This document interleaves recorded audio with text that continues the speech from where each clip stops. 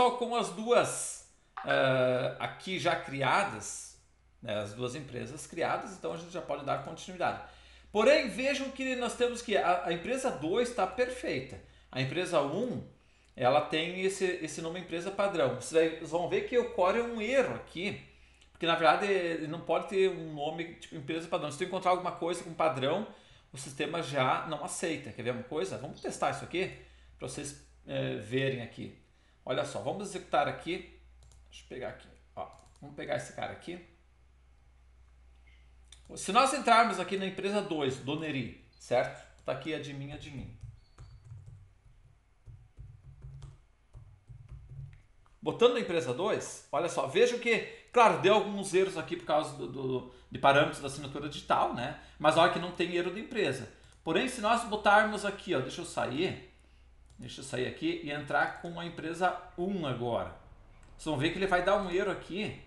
Vou botar aqui, admin, admin. Vai dar um outro erro aqui. Aqui, ó, nome da empresa emitente ainda não foi informado, certo? Ou seja, ele não reconhece esse nome aqui.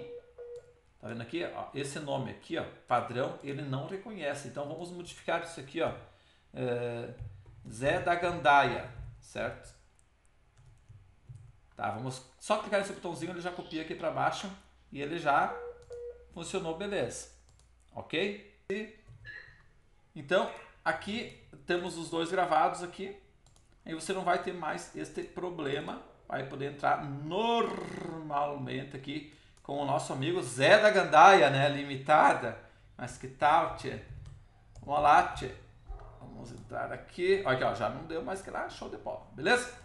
Agora sim, vamos para uma parte muito importante, que é a parte dos parâmetros digitais. Tá, pessoal? Isso aqui é extremamente importante.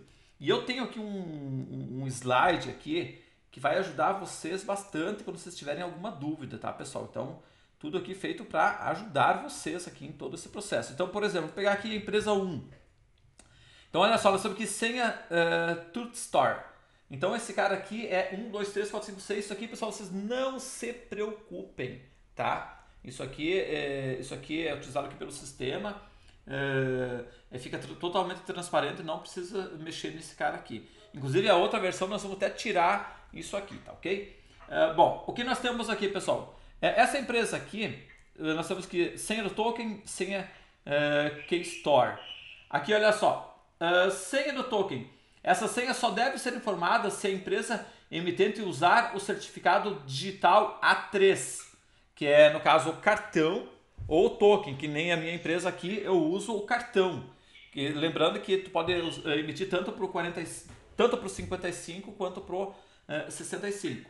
É, caso contrário, deve ser deixado em branco. Então, nesse caso dessa empresa Zé da Gandai aqui 1, a gente vai deixar em branco isso aqui, por quê? Porque ele usa o certificado digital do tipo 1, que é aquele arquivo PFX que depois a gente vai estar configurando, tá certo? Então, aqui a gente só vai colocar a senha dele, tá ok? Então, vou colocar aqui a senha dele. É, até eu vou abrir, tem um arquivo aqui já, é, que tem aqui, ó, que dados da empresa padrão, certo? Tem aqui o CNPJ, senha. Se tu olhar, vai ver que exatamente é a mesma que, que nós temos lá no cadastro. Então, no caso aqui, ó, a senha dele é Styroflex. Bonita senha, né? CK Store. Então, aqui, ó, inclusive quando tu parar com o mouse em cima, já vai mostrar aqui, ó, senha do certificado digital do tipo, no caso aqui, do tipo a1, que é o arquivo certificado PFX. Aqui, ó, senha do certificado digital do tipo A3, que é o cartão ou o token. Aqui, senha do arquivo JKS, que esse cara aqui você não se preocupe, tá ok? A série, então, uh, tanto para o 55 quanto para o 65, então veja que ambas iniciam na série 1. Se você for implantar isso aqui numa empresa nova, que está começando agora, por exemplo, emitir nota fiscal eletrônica, aí vai ser 01. Se você está implantando isso aqui em uma empresa que já emite, já emitiu aí uh, milhares, enfim, de notas fiscais aqui, então você vai ter que ver qual que é a série e vou colocar, atualizar a série aqui, tá certo?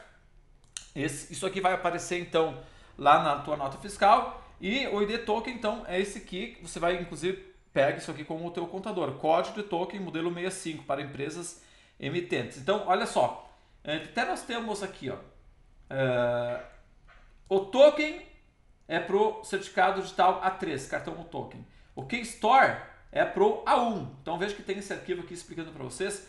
E esses últimos dois aqui, ó, é somente se a empresa emitente estiver então uh, emitindo, imprimindo notas para consumidor final modelo 65, que é aquele NFCE, tá certo? Lá, por exemplo, num supermercado, uma farmácia.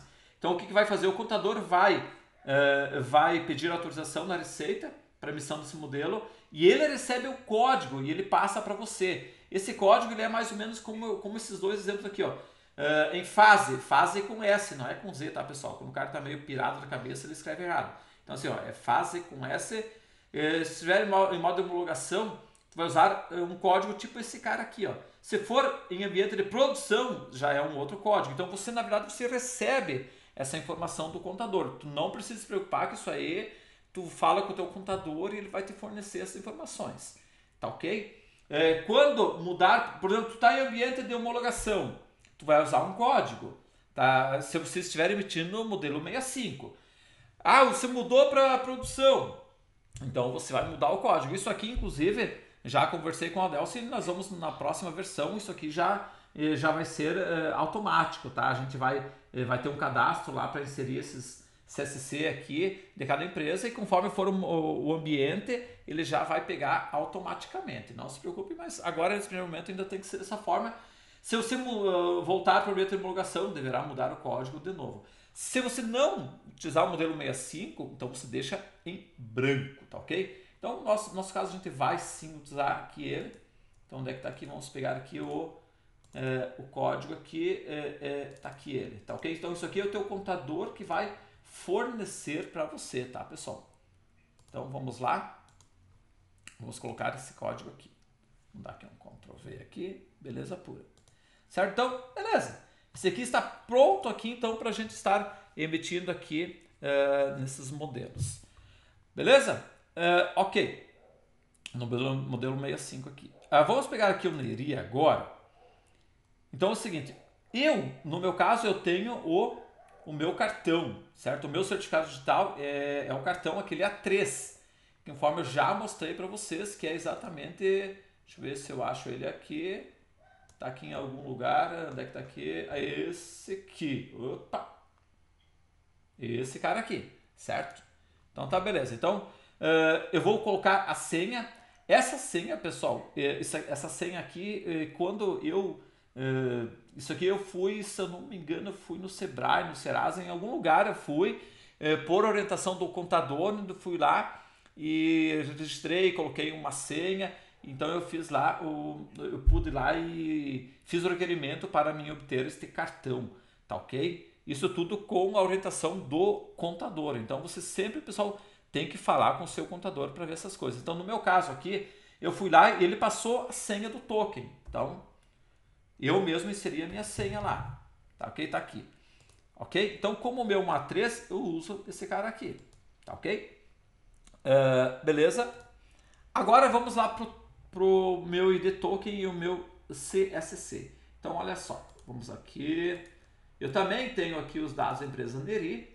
Então, se estiver em ambiente de homologação, então o CSC que eu recebi do contador foi esse cara aqui. Se você estiver em ambiente de produção, daí esse cara aqui. Isso aí pro 65, tá, pessoal? Isso aqui me refiro para o modelo 65. Aí nesse caso eu posso estar emitindo os dois, tanto o 55 quanto o 65. Vamos ver aqui agora.